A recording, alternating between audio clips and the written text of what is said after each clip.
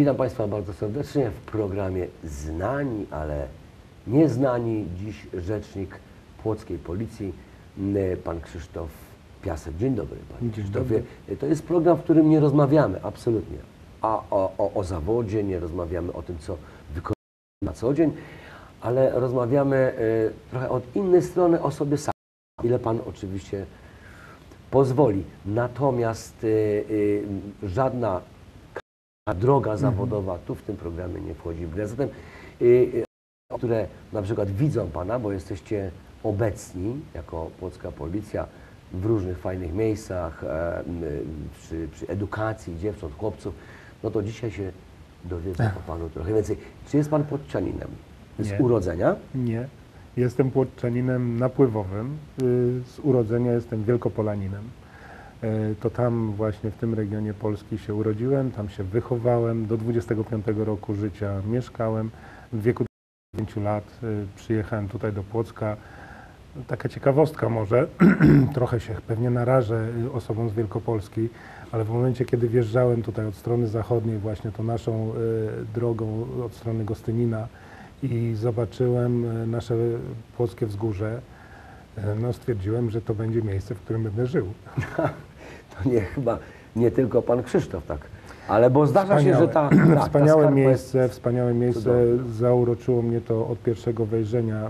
No, można, myślę, że mogę tutaj śmiało powiedzieć, że się zakochałem w tym miejscu i do dzisiaj tak jest. Ja zawsze, jeżeli wchodzę, wjeżdżam od, od strony Płocka, y, właśnie od strony y, Gostynina do, do, do Płocka, zawsze to Tumskie Wzgórze. bez bardzo- względu na porę roku? bez względu. Bez, ono zimą też jest piękne, też jest piękne.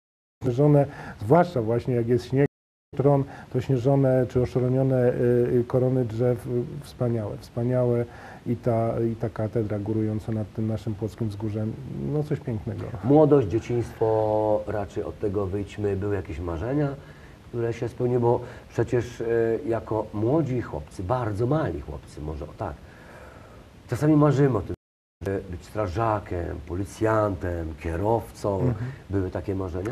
E, tak, było marzenie bardzo duże od samego początku. Praktycznie ja nie mogłem się, pamiętam z dzieciństwa, jako już naprawdę jeszcze bardzo małe dziecko, mm, gdzie tam moja pamięć sięga, y, mój tato miał motocykl.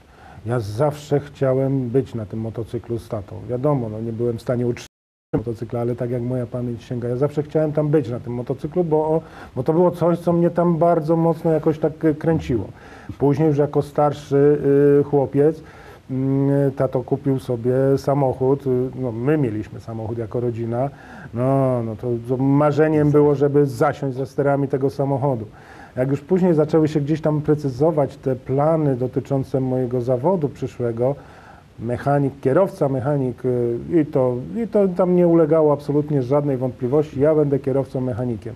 E, Ale później jakoś tak y, to wszystko y, Zeszło na drugi gdzieś plan? zeszło na drugi plan. E, W szkole się? średniej zacząłem troszeczkę inaczej to życie chyba odbierać. E, Trochę, ja mieszkałem w takiej małej miejscowości, gdzie mm, policja działała, czy milicja wtedy działała tak, jak, jak na milicję stało, czyli oni byli właśnie od niesienia pomocy, daleko od tej wielkiej polityki, która gdzieś tam się y, toczyła. Do tej mojej miejscowości ta polityka duża nie docierała. Policjanci, nasi poli, milicjanci lokalni, oni byli, y, robili to, po co byli y, powołani. I gdzieś tam ja zacząłem zauważać pewne rzeczy, to co się dzieje złego z ludźmi, to co, że, że tym ludziom dzieje się krzywda i tych którzy no, starają się tutaj nieść tą pomoc.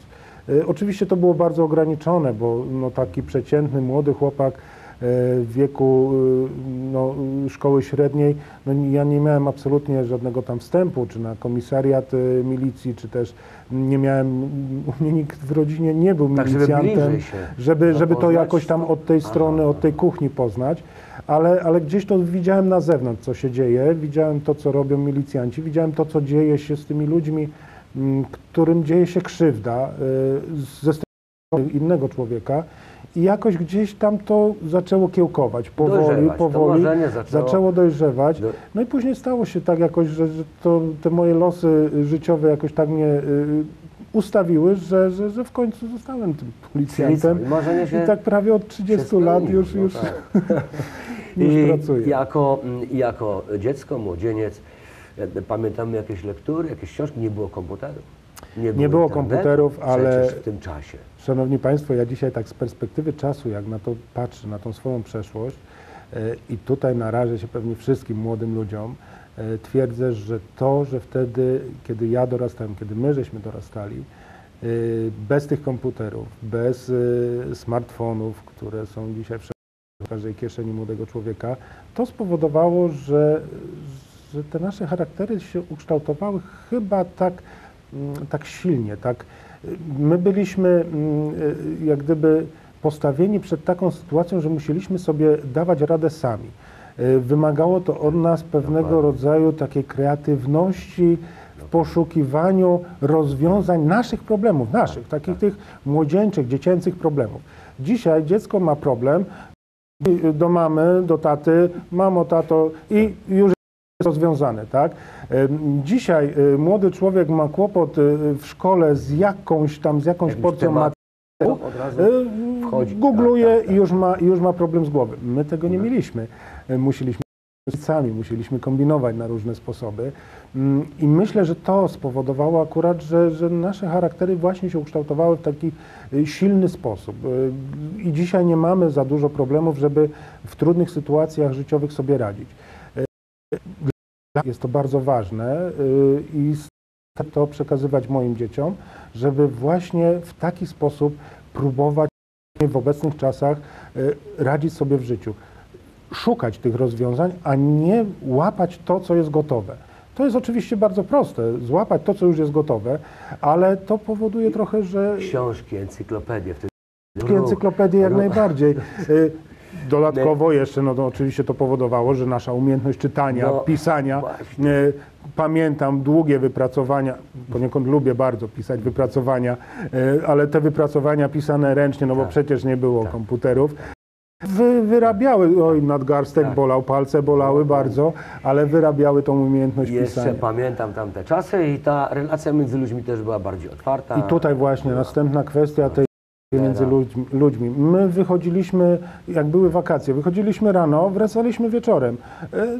Rodzice nie bardzo się też przejmowali, czy nam się krzywda dzieje, czy Ale nie, nam bo się nie wiedzieli, nudziło. bo, nie, bo wiedzieli że, nie że, że, że nam się krzywda nie ciągle- dzieje. tak. No i nam się nie nudziło. Tak. My, ja do dzisiaj mam wielu przyjaciół. Ja nie mieszkam już tak no, praktycznie od 20, praktycznie 6 lat.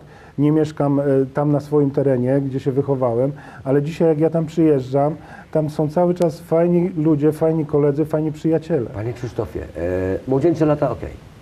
Można powiedzieć, że fajnie spędzono. E, e, fajny okres w Pana życiu, ale jest jeszcze jedna rzecz, o której chciałbym e, podkreślić, chciałbym ją tutaj zasugerować. Naszym telewidzom lubi Pan Polskę. Przyrodę. Lubię, uwielbiam. Właśnie. Uwielbiam nasz kraj. To się przy, przy dzisiejszej dobie, gdzie te statki powietrzne możemy przemieszczać się pięć kontynentów Mhm. w jednej niemalże chwili. To Pan mówi, Polska jest naj, naj, do wypoczynku. Tak, i to jest chyba gdzieś tam jakaś, jakaś taka, y, gdzieś to jest bardzo głęboko we mnie, dlatego że ja kilka razy byłem za granicą. Y, Szanowni Państwo, ja tam się czułem gość, gościem, osobą obcą, zupełnie obcą, która no, nie pasuje do tego miejsca. Wystarczyło tylko, że ja przekraczałem granicę naszego kraju. Jestem u siebie, jest fajnie, przyroda zachwyca mnie codziennie, jaki zakątek coś Polski nowego. jest najfajniejszy? Dobrze, Polska jest fajna, ale coś... Wspaniała, wspaniałe miejsca, Bieszczady, góry nasze polskie, uwielbiam, uwielbiam tam być. E, Może troszeczkę mniej, e, dlatego że tam Ale przebywa Pan tam jako turysta, czy jedzie z rodziną, czy, czy sam y, jest takim traperem, który lubi się wyciszyć i i uciec? tro, chyba myślę, że, że trochę, trochę wszystkiego po trochu, bo oczywiście nie wyobrażam sobie spędzania urlopu samemu. Ja kocham swoją rodzinę y, i zawsze jest mi bardzo miło, jeżeli jestem z całą rodziną gdzieś na wycieczce, y, czy, czy spędzamy razem urlop. Y, Teraz oczywiście to będzie coraz chyba trudniej, bo i syn, i córka już gdzieś tam te swoje Na pierwsze zatrudnienie Tak. mają, już, już próbują chodzić tymi swoimi ścieżkami. To jest rzecz normalna, szanowni Ale państwo, wcale. Bieszczady? Naprawdę? Teraz, jeżeli jest W urlop? tym roku, jeżeli, jeżeli będzie tylko taka możliwość, oczywiście, e, na pewno będzie to gdzieś, gdzie, będzie, gdzie nie będzie takiego płaskiego terenu. Ja uwielbiam pagórki, wszelkiego rodzaju, większe, mniejsze. Dziękuję bardzo. Znani, ale nieznani. Moglibyśmy dłużej rozmawiać. Chyba przedłużę ten program o parę minut, bo naprawdę mm, e, miło się rozmawia z naszymi gośćmi. Dziękuję za przybycie do Dziękuję studia, również. Krzysztofie, a ja Państwa zapraszam na kolejnego gościa. Znani, ale nieznani. Naprawdę fajnie się